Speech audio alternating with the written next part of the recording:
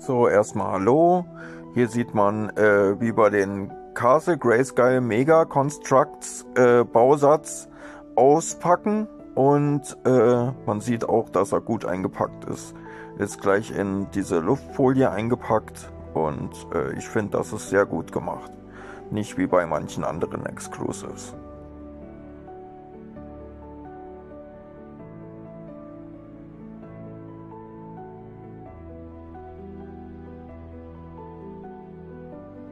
Man sieht ja, der ist in diese schwarze Box eingepackt und äh, mein Bruder dreht jetzt die Box. Da sind die zwei Schwerter.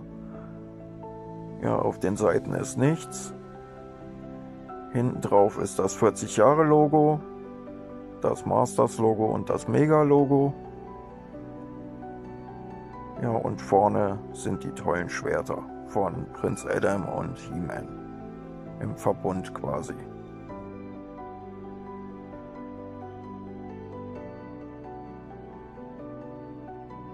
Hier sieht man, dass man das öffnen kann und drinne ist der Karton, äh, wo die Einzelteile drinne eingepackt sind. So, das ist die Beschreibung.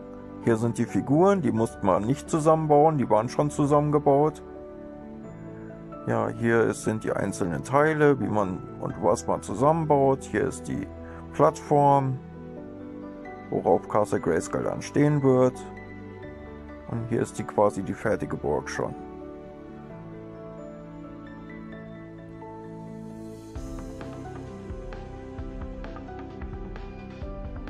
Das ist quasi das Logo bei The Power of Grayskull. Ja, hier sind die Teile, die einzelnen Tüten. Ich glaube, es waren äh, fünf oder sechs, nee, sechs Tüten waren es.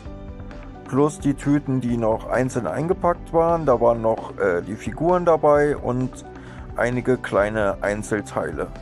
Hier sieht man ja immer, steht immer drauf. Hier die 5, 4, 6, ist immer gut erklärt. Hier ist schon mal die Basis, die Grundbasis, worauf dann alles fußt. Ja, und eigentlich hat das Bauen sehr viel Spaß gemacht. Hier sind die Standfüße, damit man da später einpassen kann in, diese, in diesen Karton. Hier öffnet mein Bruder gerade die Tüte und man sieht, dass man das so umswitchen kann. Hat mir sehr gut gefallen, dieser Mechanismus. Ich zeige aber nachher noch mal richtig.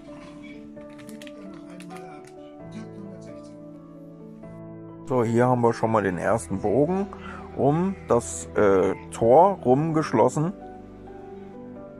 Hier ist der erste Aufbau oben drauf und man sieht, dass Tor nimmt Gestalt an.